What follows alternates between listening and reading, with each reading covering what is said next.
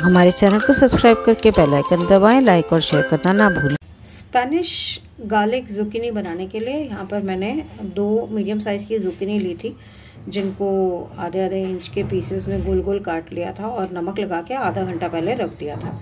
आप देख सकते हैं मैंने इसको छन्नी में रखा है ताकि इसका पानी निकल जाए। ये देखिए नीचे कितना पानी आ गया है। तो इसको अब हम बनाना शुरू करेंगे। आ, बनाने से पहले एक तो मैंने यहाँ पर देखिए एक पूरी गांठ लहसुन की और दो टेबलस्पून जितना धनिया जो है उसको कूट के रख लिया है।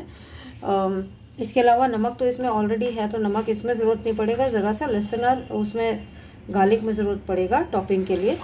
और यहाँ पे जो आ, ये जुकीनी है हमारे पास इसको मैं देखिए टिश्यू पे रखूँगी पहले। पेपर टाल पे और इसको दूसरे पेपर टाल से टैप करके बिल्कुल ड्राई कर लूँगी और फिर बनाना शुरू करते हैं। तो पहले इसको मैं टैप करके ड्राई कर लेती हूँ। मैंने यहाँ पे ग्रिल पैन को धो के और हीट होना रख दिया है। इसका पानी सूख जाएगा जब, तब इसमें ऑयल डालेंगे। यहाँ पर देखिए जुकनी मेरी ऑलमोस्ट पूरी आ गई है, लेकिन थोड़ी बहुत फिर भी बच गई है। तो ये एक बारी वैसे भी इससे ज़्यादा डलेगी नहीं उसमें। तो एक बार ये हो जाती है तो फिर ये डाल देंगे ग्रिल पैन में तो बाकी की भी इसी से टैप ड्राई करके रख देंगे। तो अभी पहले इसको मैं हीट कर लेती हूँ पैन को और उसमें ऑयल डाल देती हूँ दो टेबल स्पून जितना।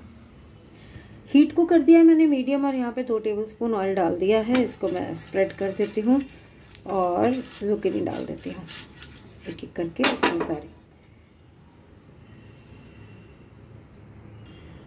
सुकीनी को हम ढाई मिनट तक एक साइड में पकाएँगे, तकरीबन ढाई मिनट, ढाई से तीन मिनट मतलब हो जाता है, ढाई मिनट में इनफैक्ट हो जाता है।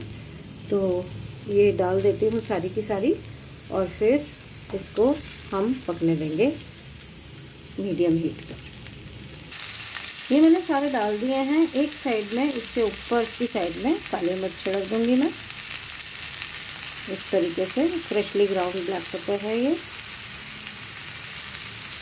हम लोग घर में ही काली मिर्च पीसते हैं और बाई चांस मैंने आज ही पीसी थी आप चाहें तो थोड़ी कम डालें, चाहें तो ज़्यादा डालें, आपकी टेस्ट के ऊपर डिपेंड करता है।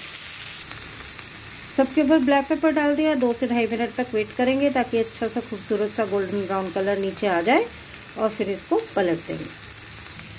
देखिए कितना ब्यूटीफुली ग्रिल हो गए। अब दूसरी साइड से ग्रिल कर रही हूँ। अभी अभी मैंने पलटा है। जो एक दो कॉर्नर्स वाले रहते हैं थोड़े थोड़े, उनको दोबारा से पलट दूँगी। इसको नमक लगा के रखने का मकसद सिर्फ़ एक ही होता है कि जुकिनी जो है 90 टू 95 परसेंट वाटर होती है वाटर कंटेंट होता है।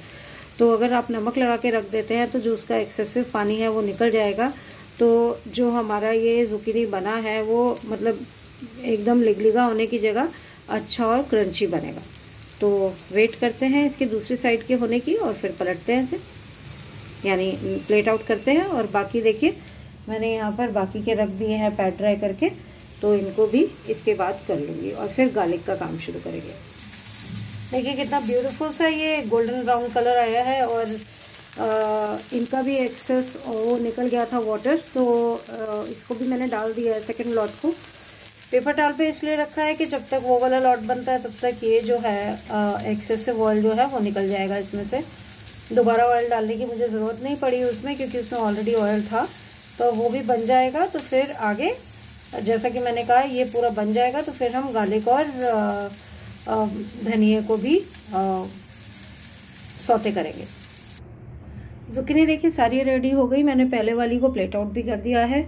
इसको और यहाँ पर मैंने अब एक टीस्पून जितना ऑयल डाला है, इसमें मैं ये गार्लिक और धनिया डाल दूँगी। और इसको अच्छे से मिक्स करेंगे, इसमें थोड़ा सा नमक भी डलेगा। जो है, इसकी टॉपिंग के काम आएगा। इसको अच्छे से मिक्स करते हो या 20 से 25 सेकंड खाली पकाना है, उससे ज़्यादा नहीं। तो मैं हल्का सा नमक डाल देती हूँ और फिर इसको मिक्स करके बंद कर दूँगी।